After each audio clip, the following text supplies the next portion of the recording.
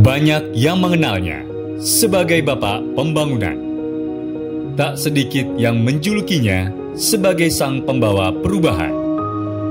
Dari tangannya, masyarakat Batam, Provinsi Kepulauan Riau bisa merasakan dampak positif dari hasil pembangunan. Bangga rasanya tinggal dan menjadi warga kota Batam yang hidup makmur dan tentram. Batamku kini lebih modern dan maju.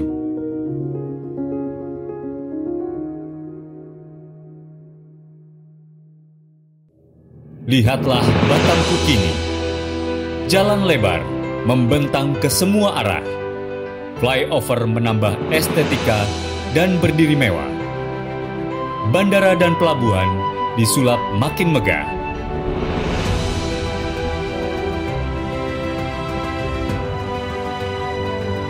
Masjid-masjid berdiri begitu memesona. Permukiman dan kampung tua disulap lebih indah.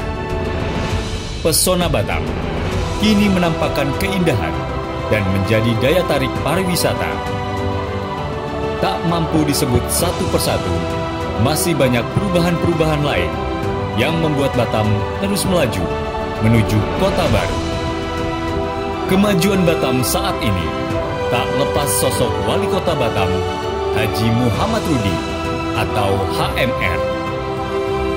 Kiprah HMR membangun Batam tidak terjadi sekejap mata.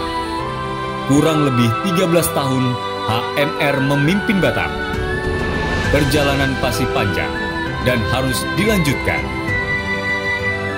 Kepemimpinan HMR bermula 2009 saat HMR terpilih menjadi anggota DPRD Batam. Momen ini menjadi kiprah HMR di dunia politik. HMR melangkah lebih jauh, mengabdikan diri untuk masyarakat. HMR maju mendampingi Ahmad Dahlan sebagai Wakil Wali Kota Batam pada periode 2011-2016. Dalam kepemimpinan HMR, beberapa kebijakan cukup mudah disetujui, termasuk usulan insentif bagi perangkat RT dan RW di Kota Batam. HMR banyak dikenal sebagai pemimpin yang suka membuat gebrakan dan terobosan demi sebuah kemajuan. Hal itu dapat dilihat juga ketika HMR menjabat Wali Kota Batam sejak periode 2016 hingga 2021. Di masa ini pula, HMR juga dilantik menjadi Kepala Badan Pengusahaan Batam. Tepatnya pada 2019. Kepemimpinan HMR menakodai Batam berlanjut pada periode 2021-2024. Beragam kebijakan yang berorientasi pada pembangunan fisik serta pemberdayaan masyarakat, HMR terbukti menjadi sosok pemimpin idaman. Meski banyak menorehkan prestasi dan sukses membangun Batam, bukan berarti tanpa hambatan. Batam sempat terjun bebas pada tahun 2020 kala pandemi COVID-19 mewabah. Ekonomi Batam berada pada minus 2,55 persen.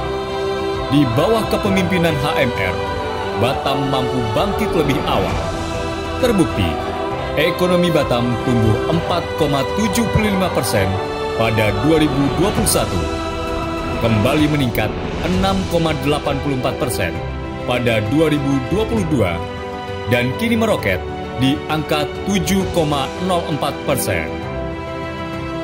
HMR bagi banyak orang benar-benar mengejutkan telah berhasil mengubah kota Batam. Perubahan yang dilakukan sangat membanggakan dan yang penting adalah menumbuhkan harapan. Kepiawaian, kebijakan, hingga kepemimpinan HMR harus dipertahankan. Perlu sosok pemimpin seirama pada periode berikutnya untuk melanjutkan.